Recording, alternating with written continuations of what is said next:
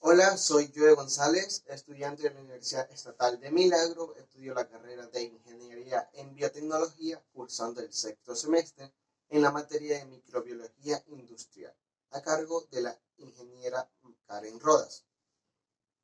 Este video trata sobre la elaboración del yogur y los beneficios que obtenemos al consumirlo. Pero primero les hablaré sobre una de sus materias primas principales, que es la leche.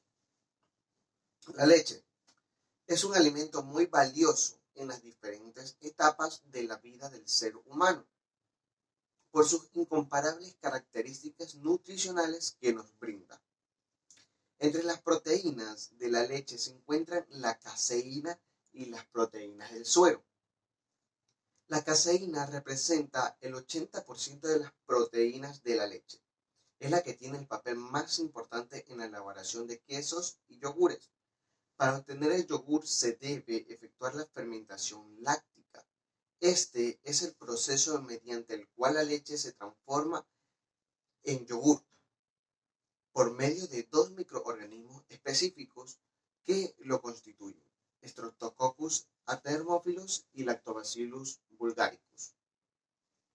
En la elaboración del yogur puede ser a nivel industrial y nivel casero. Los procesos son los mismos. Lo único que cambia es el equipo que vamos a utilizar. Se debe tener una buena asepsia en el lugar de trabajo junto con los materiales que utilizaremos para evitar una contaminación cruzada indirecta, debido a que un solo microorganismo puede cambiar la ruta de fermentación de la leche. Yogur o leche fermentada. Es el producto de la fermentación de la leche natural, producida por bacterias específicas antes mencionadas. La elaboración se puede realizar con leche de vaca, de cabra, de búfala, etc. Siempre obteniendo productos similares de características. ¿Por qué es bueno el yogur para nuestra salud? Eh, debido a que aporta proteínas de buena calidad que se digieren mejor que las proteínas de la misma leche. Previene las diarreas infantiles, previene la osteoporosis debido a que un, es alto en calcio. Los pueden consumir hasta personas con intolerancia a la lactosa. El yogur es una buena fuente de magnesio y fósforo, que son minerales muy importantes para nuestros huesos. Lo curioso es que estos minerales están en mayor cantidad en el yogur que en la misma leche. Es como si estos microorganismos al fermentarla nos aumentan la cantidad de algunos minerales en el yogur. El yogur disminuye la, la proporción de colesterol que contiene la leche antes de la fermentación. Por cada 100 gramos de yogur que consumimos, obtenemos 180 miligramos de calcio, 17 miligramos de magnesio, 240 miligramos de potasio y 140 miligramos de fósforo. Luego de la breve explicación que les he dado sobre la leche y el yogur, empezaremos a la elaboración del yogur. Eh, antes de todo voy a mencionar los materiales que necesitaremos para esta elaboración. Una olla, una cuchara puede ser de palo o de acero inoxidable, un tupper, una estufa, un filtro para filtrar la leche, hielo, una tina donde vamos a colocar el hielo con agua. Los insumos que necesitaremos serán un litro de leche, 185 gramos de yogur natural, 50 gramos de azúcar, 50 gramos de leche en polvo. Esto es opcional. Esto le va a dar un espesor al yogur. Como primer paso, tenemos la filtración de la leche para separar cualquier impureza presente.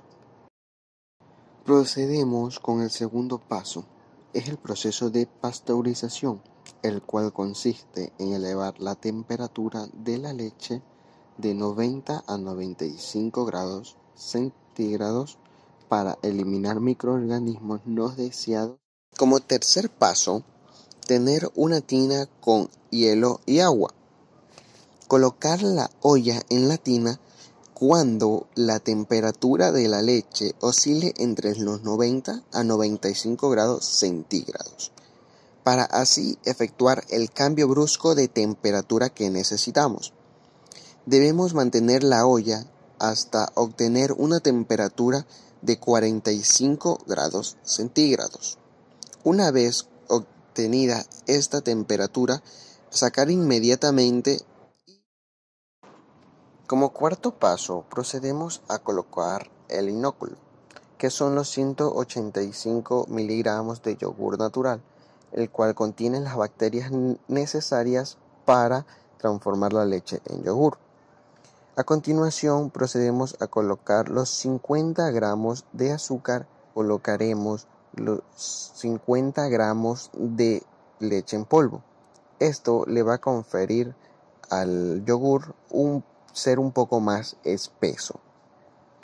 Batimos suavemente hasta que toda la mezcla esté totalmente homogénea. Quinto y último paso. Cuando podamos observar que la mezcla está totalmente homogénea, podremos colocar toda la mezcla en dos tuppers de vidrio, totalmente herméticos.